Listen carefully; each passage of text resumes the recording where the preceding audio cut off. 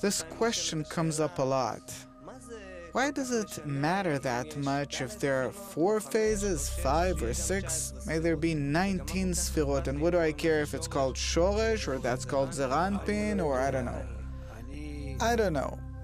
Yesterday, I felt ill. I had a stomach ache, for example. So I started thinking, where did it come from? What did I eat? Maybe I have some kind of a problem.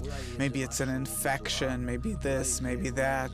If a person has a problem, he goes and finds out and he wants to know all the details. If a person hurts that he does not attain godliness, then he wants to find out all the details about it. What do you mean, what do I care? The point in the heart that's inside a person and clears up and connects more to the system. A person wants everything.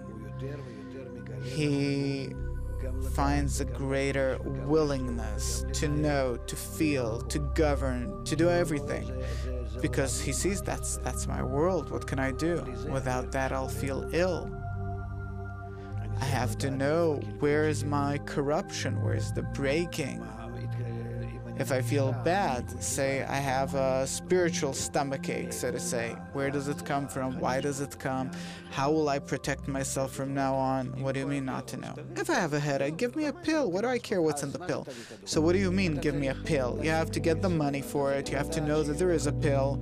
Where do you get it? You have to go there and to buy it for money and to say exactly what hurts. It's not simple. And uh, here in the wisdom of Kabbalah, all the more.